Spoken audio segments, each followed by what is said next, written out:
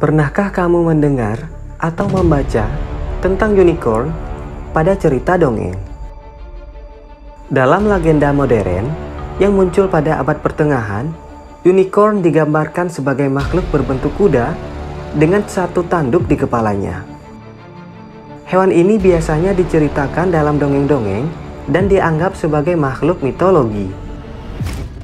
Makhluk ini memiliki kekuatan berupa bisa menyembuhkan dan membelah lautan yang menjadikannya simbol sihir dan inspirasi mistik bagi banyak sastra dan fiksi.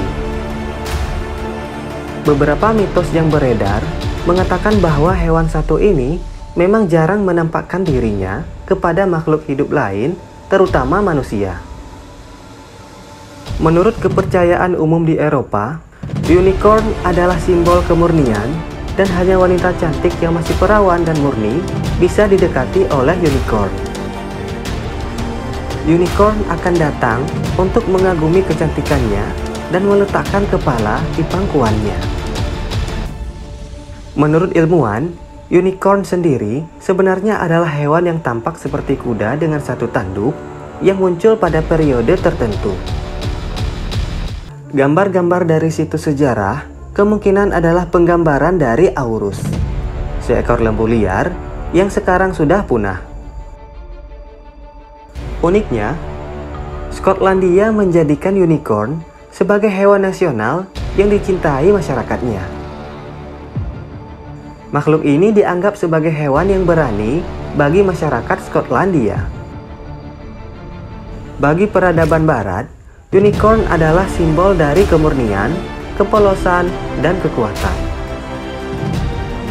Unicorn pertama kali muncul sebagai lambang kerajaan Skotlandia pada abad ke-12.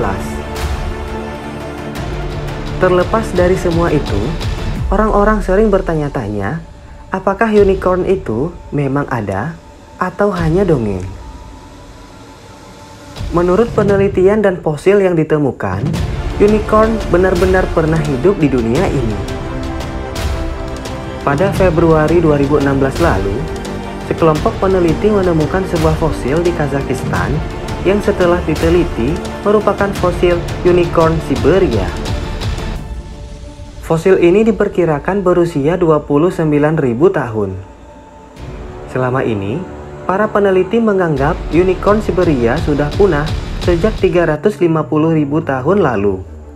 Namun, penemuan ini menjadi bukti bahwa hewan ini hidup dan berkembang biak di bumi selama ratusan ribu tahun sampai akhirnya punah. Temuan fosil itu mengubah pandangan para peneliti akan imajinasi bentuk dari hewan ini dalam legenda. Sayangnya, unicorn ini tak seperti yang ada dalam buku dongeng, yaitu kuda bertanduk. Para peneliti menyebutkan unicorn yang sebenarnya tampak bertubuh besar dan tinggi, menyerupai badak modern. Bedanya, unicorn Siberia ini memiliki tanduk yang sangat besar di keningnya. Itulah penjelasan tentang unicorn yang dapat kita ketahui. Setelah tahu tentang apa itu unicorn, apakah kamu percaya akan keberadaan hewan ini? Silahkan tulis jawabanmu di komentar. Terima kasih telah menonton video ini.